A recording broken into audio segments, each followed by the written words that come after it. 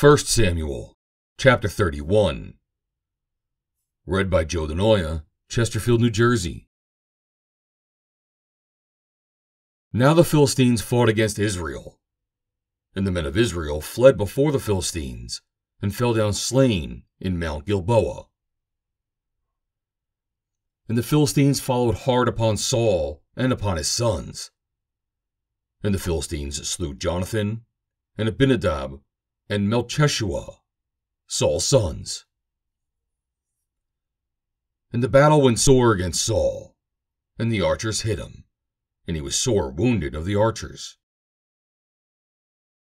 Then said Saul unto his armor bearer, Draw thy sword, and thrust me through therewith, lest not uncircumcised come and thrust me through, and abuse me. But his armor bearer would not, for he was sore afraid. Therefore Saul took a sword and fell upon it. And when his armor bearer saw that Saul was dead, he fell likewise upon his sword and died with him.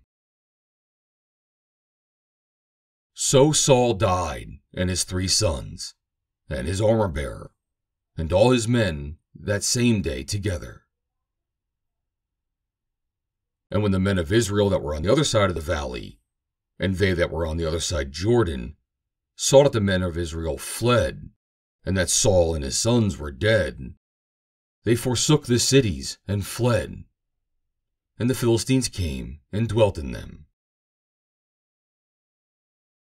And it came to pass on the morrow, when the Philistines came to strip the slain, that they found Saul and his three sons fallen in Mount. And they cut off his head, and stripped off his armor, and sent into the land of the Philistines round about, to publish it in the house of their idols, and among the people. And they put his armor in the house of Ashtaroth, and they fastened his body to the wall of Bethshan. And when the inhabitants of Jabesh Gilead heard of that which the Philistines had done to Saul, all the valiant men arose and went all night, and took the body of Saul and the bodies of his sons from the wall of Bethshan, and came to Jabesh, and burnt them there. And they took their bones, and buried them under a tree at Jabesh, and fasted seven days. End of chapter 31. End of the first book of Samuel, otherwise called the first book of the Kings.